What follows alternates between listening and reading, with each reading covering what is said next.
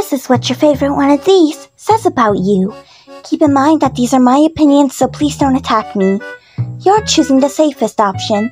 Maybe a little bit overrated, but they're still good options. This may not be everyone's favorite, but it's yours, and you're totally chill about it. You're into the classics. You're, oh, you're cool. I like you. No way! You actually know this one? Can we be friends? This one's just a phase. You'll grow out of it when you grow up. Oh, you picked this one to be different. You know what? Major respect. If you picked this one, you're probably a liar. This is nobody's favorite. On the other hand, if you pick this one, you're correct. This is the best one. Oh, and for those of you saying, Where's this one? No, where's that one? You're annoying. That's what you are. Go touch grass. Now.